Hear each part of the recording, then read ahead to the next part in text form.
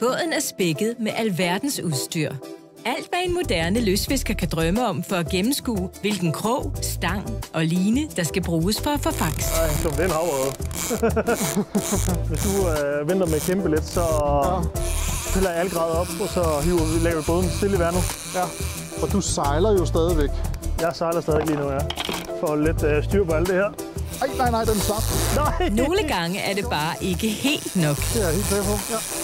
Er over, det var altså en øh, rigtig stor havre, det der, ikke? ja. Det udslag, den gav på, øh, på, på plotteren. Ikke for at gøre det skidt for dig, men det er det største markering, jeg har set i år på skærmen.